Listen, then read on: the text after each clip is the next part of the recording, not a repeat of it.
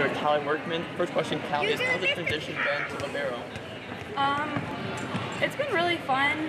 Uh, it's really sad that Asante got hurt and her foot and everything. She's in a boot, but I think I've worked really hard for this, and it's just really fun playing behind our block. Our block's getting ever better every day, so it's been great. And lastly, uh, what does BJU mean to you and the team? For the team, it's huge. It's our rival, and it's good to get the first point for all the sports um, this year to BJU.